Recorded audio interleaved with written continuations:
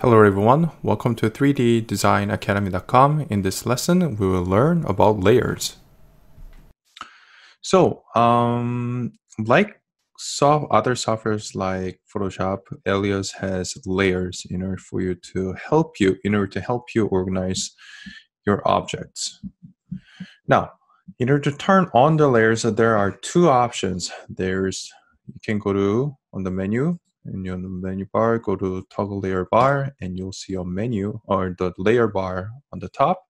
Or you can go to Windows and there's something called an object lister. So this also, this is very similar, uh, well, it does the same function as the layer layers bar, but it is more in depth and there are more things you can do and it is instead of being on a horizontal line and it's stacked so it is sometimes easier to navigate if you let's say you have many, many layers. Okay, so how do you create layers? All you have to do is go to layers and say new. And we have a new layer right here. So right now it just says layer one, but you can uh, modify the name. So I'm going to say, I'm just going to double click and I'm going to say this is going to be body. And I'm going to create another layer and I'll say grill. I'm going to create another layer and I'll say glass and say rear glass. Actually, let's uh, keep all, all the glasses on the same layer and I'll say just miscellaneous. Okay, So if you want to double, um, so if you want to, let's say you set the name and if you want to change it, you can also double click, erase it, and type again. So let's say you, can just retype it all glass or something like that. Okay, so how do you assign objects into each layer? All you have to do is, because of this particular model is group already grouped, what I can do is I can say Control Shift left mouse button to pick object. Can pick the object right right here, and I can say body. I'm gonna click and hold, and there's an assign button. So all you have to do is do that. And now the this particular object or this uh, group of surfaces is assigned to the body layer, and you can just check it by turning this on and off. And right now you can see that. Okay, so next thing I'm gonna do is I'm gonna say, I'm gonna pick all the grill surfaces, the rear one, and I'm gonna say grill assign. So turn that off and all glass. So I'm gonna pick here, here, and the rear. I'm gonna say assign, turn that off, and the miscellaneous, I'll just pick everything pick object, control shift, left mouse button, pick object, and I'm going to drag click on everything. And I'm going to assign it to the miscellaneous layer. So now because the surfaces are assigned to each layer, you can also change you can modify it.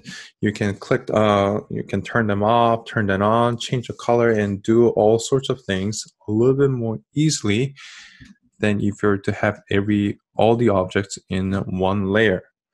So um, let's say you, let's say the surfaces are not grouped and you want to pick all the objects in a layer, you can also click and hold on the layer and you can say pick objects and it'll pick everything that is assigned to the layer. So let's change this color to something else. So maybe I'm gonna uh, little orange body and we'll change the glass color. So all glass we're to change that to a nice blue color like that. So you're able to do that by just picking, uh, click on a layer and say pick objects. Okay, uh, we already went through this, but in order to turn the layer on and off, all you have to do is click this little box right here. So if you want to turn this body off, you can click that. And if you want to turn it back on, you can click again. And notice when you have uh, the layer invisible like this, you'll see that the box is uh, in the checked pattern. So if you, uh, and if it's a solid line, then you know that it's visible. Now, with this, uh, the layer setting, you can also change the color of the wireframe of the surfaces that's in there or the curves. So when you click and hold here, you can change the color. So let's say the body, right now the surfaces are orange. Let's say you want to uh, change the outline of the surfaces to red, you can do that. And you'll see that all the surfaces that is in that layer has turned to a red color. And if you want to change it, uh, you can also click and hold and change to something new. Let's say you want to change to gray, or let's say you want to change to blue, you can do that also. It just helps to distinguish which objects are in which layer. Also, if you want to go back, you can just say none and it'll go back to your default color like that. Okay, and also within each layer, you can also set the layer settings to something different.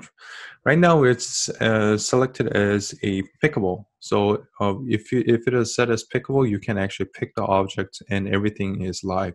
But let's say you want to make sure uh, you want to separate the layers, objects into layers, so that you cannot pick it. Uh, all you have to do is, let's say I want to put the grills because we want to do something on it, but without having to move. Uh, so, but without making it movable, you can say, I'm gonna just pick all the objects in the grill layer. Oh, you don't have to pick the objects in a grill layer. All you have to do is set the state to reference or inactive. So if you set it to reference like this, you'll see that it's being grayed out, it's sort of a brownish color but because it's uh, set as a reference layer, you cannot actually pick it, which uh, you know, which can be a very helpful feature feature if you want uh, them to stay static. Um, same thing with inactive. So same thing, you cannot pick it. So those are two set, uh, settings that you can use to make sure that uh, the objects in the layers are static and do not move. Okay, uh, the last thing that we're gonna do is go over the symmetry setting.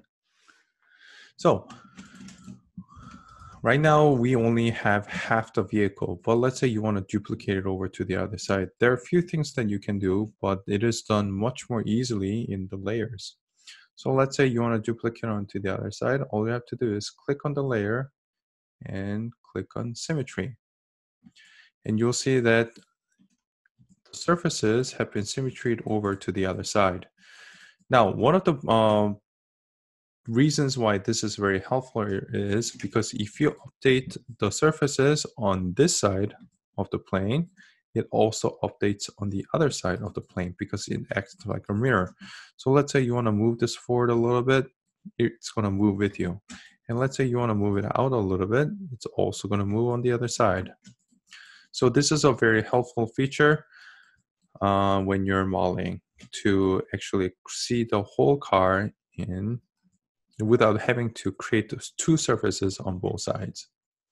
Same thing here, all you have to do is click on symmetry and it'll duplicate over. Symmetry here and symmetry there.